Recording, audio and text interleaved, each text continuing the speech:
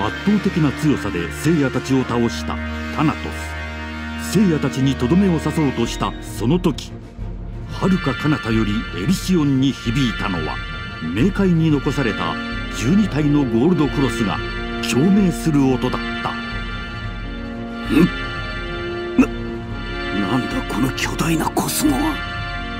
バカな。ゴールドクロスがこのエリシオンに近づいてくる。神以外不可能なことを一体何者が？か神？まさか。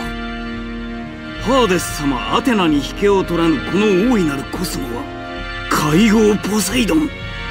アテナの壺に封印されて再び長い眠りについたはず。そそれがなぜ？いたぞサジタリアスのクロス。水亀座。アクエリアスのクロス。天秤座。ライブラのクロス。乙女座。バルゴのクロス。獅子座。レオのクロス。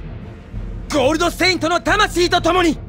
我らここにゴールドクロス。装着。かつては戦い敗れたアテナに加勢するなどポセイドンも情けない神よな。だがゴールドクロスをまとったくらいで神である俺に勝てると思うな。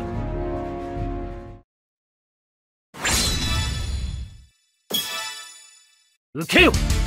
ライブラの部の力を。もう終わらせてやろう。ファイトベリブル・プロビデンスはい、どうあなたのクロスをポセイドンの甘いゴールドクロスを割ったくらいでこいつらに勝利を与えたつもりになっている俺は認めんベリブル・プ今までロビデンスはそのゴールドクロスが勝利を導いてくれた今度ばかりはそうはいかんファーベスターの進化俺は神何の援軍になるか。俺は認めん。君はまた遥か。五郎法さあどけ俺のために祈り続けてくれたんだもう最後野山昇竜派ベリブル・プロビデンス太陽はベリブル・プロビデンス今日は完全な闇とか。お前とお前の帰りの待つ全ての人間死と共にを破りますか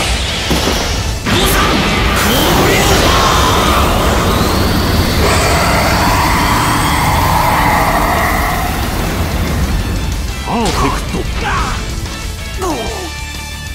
ウィナー。ロシあなたの思い。しかと受け継ぎます。これぞ鍛錬の賜物。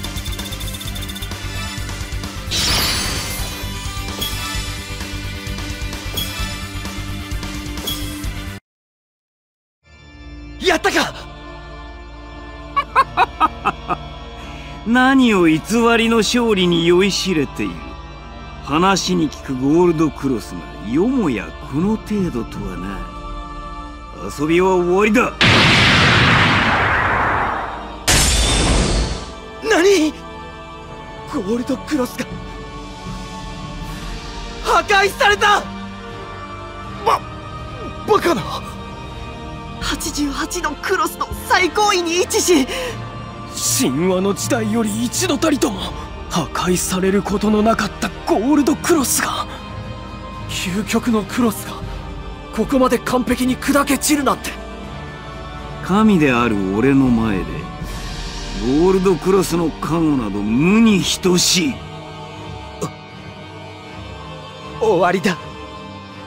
俺たちに残されたものはこれで何もかもなくなっちまった。ももう何もかも。